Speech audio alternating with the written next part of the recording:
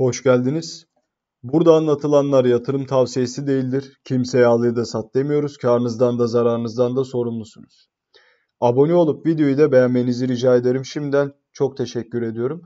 Binance artık arkadaşlar daha doğrusu 30 Ekim tarihi itibariyle launch trade ücretlerini saat 00'da hesaplayacağını e, belirtti. Yani her 00 her gece e, yeni gün geldiği anda ne yapacak? Hesaplamaları yapacak ve e, yakın miktarını günlük olarak da bu bağlamda belirleyecek.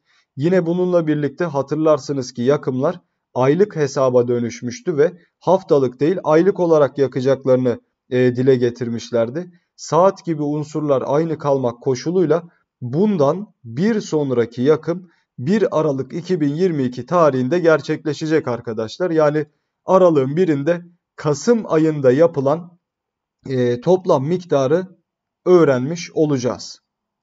İzlediğiniz için çok teşekkür ediyorum. Abone olup videoyu da beğenebilirsiniz. Bol kazançlar dilerim herkese. Hoşçakalın.